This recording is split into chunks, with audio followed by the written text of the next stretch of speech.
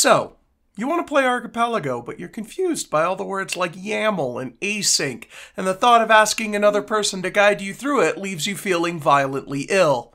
Well, this video's for you. First off, this is gonna assume you have some notion of what Archipelago even is. If you don't, then check out this video in the corner to view a brief explanation, but basically, you take a bunch of video games, put all their items in a blender, and then everybody takes a swig. A single game of Archipelago is often called a seed, named after the random seed that's used with each player's options to generate that particular combination of things. A seed has some number of slots referring to a particular run of a particular game. You can think of these slots as players, although nothing's stopping someone from piloting multiple slots in the same seed. You could even play every single game in Archipelago all alone if you want. There's no realistic limit on the number of slots in a seed, and any game can be in the seed as many times as you want. So if you have 14 friends and you all want to play Zork Grand Inquisitor, then go on, live your best life. Archipelago is a website and also a program that you can install. Some of the things can be done on the website, but it can all be done on the program if you want to, so if anything ever happens to the website, you're never left unable to play. Running things on your own computer is what's called local, while the website is referred to as remote. There are three main parts of running an Archipelago game generation, hosting, and playing. Generation can be done locally or on the website, but only for supported games. Supported games are games that are vetted by the community and have some mild guarantee of continued support through future Archipelago updates, but there are tons of unsupported games that are still completely playable. We'll get to those in a minute. Hosting a game can be done locally or on the website, even if it contains unsupported games. Playing game is something you do locally because seriously, what's the point of having the website play your game for you? That's kind of why you're here. We'll be going through all three of these parts in order, but if you're interested in just one of them, feel free to check out the time codes in the description or on screen and skip ahead to the one that's relevant to you. The Archipelago website doesn't have a direct download link. This is intentional both to save on server bandwidth and to direct people towards the GitHub, where you can be provided with a bunch of resources all at once. You can get there from the website by scrolling down to the bottom and clicking this source code link. That'll take you to the GitHub page where you can find the latest stable release on the right side under releases. If you haven't been directly told by someone to install a specific version by whoever's running your Archipelago seed, you'll most likely want to grab the latest release. Scroll down to the bottom of the changelog and click the version for your operating system. In this case, a Windows user would click the Windows executable. I only have access to a Windows machine for the sake of recording this tutorial, but if you're on Linux, chances are you don't need a tutorial in the first place, and if you're on Mac, then your soul is already tainted and you will never reach the kingdom of heaven. Simply run the installer from your downloads, accept the license agreement blindly without reading it, and decide whether or not you want to include the currently last remaining install time optional module for additional link to the past sprites, then click next. Be careful checking create a desktop shortcut because there's like 50 applications in this and it'll make a shortcut for all of them. This is going to install to C Program Data Archipelago, which you might not be able to see on Windows depending on your settings. If you don't see the Program Data folder, go into View, Hidden Items, and then check the box. This is going to be referred to as the Archipelago directory in the future. You can also find it by searching for Archipelago Launcher in your Start menu and selecting Browse Files from the left side panel. If you intend to play solely with supported games, for an easier setup time, feel free to skip ahead. But installing an unsupported world, known as an AP world, is actually incredibly simple and you shouldn't be intimidated by it. The only major downside is that it forces you to generate the game locally, and it doesn't have the fancy web page for setting up your options, but those will be covered in the next section anyway, so it won't be so bad. We can get through this together. The first step in installing an unsupported game is to find the AP World file itself. This will be a single file with the extension .apworld, which might be provided to you by whoever's running your Archipelago seed, or you can find one on the Archipelago Discord in that game's development thread. Once you have your AP World file, you can either install it by double-clicking it, letting it install through the launcher, opening the launcher and clicking Install AP World, or manually by going into your Archipelago directory and placing the file under the Custom Worlds folder. Once it's installed, restart the launcher and you'll be able to generate games with it. Open its client, if it has one, and generate template options for it. In order to join an archipelago seed, it first must exist. This is where generation comes in. The very first thing you'll need to do is decide who is playing and what games they'll be playing. Gather up any number of friends, note obtaining friends is outside the scope of this tutorial, and then have everyone pick the games they want. Once everybody knows what game or games they're playing, you'll need to generate an options file for each.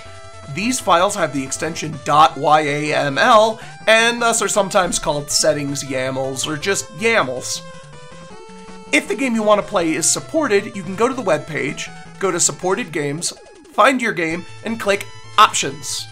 These are different for each game, but most games have reasonable defaults, so if you don't know what an option does, leaving it unchanged is usually your best bet. From there, just hit Export Options to download the YAML file. If the game is unsupported, or you want more control over the settings than the website gives you, you can edit the YAML file manually. This allows for some pretty fancy mechanics like randomizing the options themselves. For the sake of this being an intro video, advanced YAML settings are not going to be discussed here, but a link will be provided in the description with more information if you're interested. Oh, and you know, you'll be passing right by the subscribe button while you're going down there, just saying. In the Archipelago launcher, click on Generate Template YAMLs, and you'll be brought to a folder that contains default options file for every game you currently have installed, even unsupported ones. Open the file you want in a text editor, and you'll see the same options the website gives you access to, complete with comments explaining all of them. Make sure to change your name at the top to whatever you want. When it comes to defining a choice for the option, these are in the format of option, colon, weighted chance. So in the case of numerical options, the number on the left is the one you want to actually pick, and on the right is the weighted chance. For example, here, if you wanted to change the advancement's goal value from 40 to 20, you change it from 40 colon 50 to 20 colon 50. Note that unless you actually have values after the colon for multiple options, every number that isn't zero is basically the same thing. Imagine this number is how many bingo balls with that option value written on it and you put them in that big mesh roly thingy and then draw one out at random. Once each player has an options YAML, you'll want to give all the files to the seed roller so they have them all in one place. If you're watching this section, that's probably you. If every game involved is supported, you can generate on the website by clicking Start Playing, Generate Randomized Game, enter the options that you'd like, hit Upload, select all of the YAMLs, and upload them. If everyone set up their YAMLs properly, you should be taken to a screen showing successful generation. We'll pick up there in the next section, hosting. For now though, let's talk about local generation. The generation settings from the website screen can be found in another YAML file, this time called host.yaml, in your Archipelago installation directory. You can also click the open host.yaml from the launcher to open it directly. Once you've got your settings tweaked to your liking, move all of your player option files into the players directory of your Archipelago installation. Then open the Archipelago launcher and hit generate. If everyone set up their options YAMLs properly, you should see a command window pop up briefly and then close itself. Check inside the output directory of your Archipelago installation, and if you see a zip file, the generation was a success. The zip file, generated by a local generation, will contain the Archipelago server file, a spoiler log if it was enabled in the options that lists where every item is, and any slot-specific downloads such as ROM patches or mod downloads. If you generated locally, you'll need to send these files to your players for those slots, since the website will not be able to give you a download link like it would for games generated on the website. To host locally, you can either open the Archipelago launcher, click Host, then navigate to the zip file from your generation, or the .archipelago file extracted from it. This will host the game on your machine using the port specified in your host.yaml file. If you're intending for other people to join this game, you'll need to forward that port to prevent traffic on it from being blocked, which is out of the scope of this tutorial. If you don't already know how to port forward, chances are you're going to want to use the website to host it instead. So let's spend our time working on that. Go to the Archipelago website, click on Start Playing, then host a pre-generated game. Upload either your zip file or the .archipelago file from within it. It is here that we rejoin the website generators from the last section. Now, you'll be seeing a screen showing your seed status, a download link to the spoiler log if there is one, and a button to create a new room. This will host your seed and allow people to connect to it. Note, you can create multiple rooms from the same seed, which could be used for competitive races to have multiple groups of players playing the exact same random seed. The next page is your seed's room. This is where you'll find your connection information, which will contain the port number needed to connect, and some other useful amenities like a console and a tracker link. Keep this URL around. Anyone can access this page, but only you can use the server console, so feel free to send the URL to all of your players. If the room goes long enough without anyone sending an item, it'll go to sleep, and someone will need to open that URL to wake it back up. If this happens, there's a chance your old port's now in use and it'll have changed, so double check the port number. If you generated a game on the website, you might see some download links for some games. This will give you a ROM patch or a mod file or whatever might be necessary to play that game. Okay, this is probably what you're here for, and I've cleverly hidden it at the end of the video in order to increase viewer retention rate, and you've fallen for it. Unless, of course, you just clicked ahead, in which case, well played. Good news, this is the last step before you get to run around and collect your Pokemans or shoot your Metroids or whatever. Bad news, it's also the one that's got the most different ways to do it. Every game has different steps for installing their mods or connecting, but we're going to go through first how to find out how to do this part and go over some of the more common cases.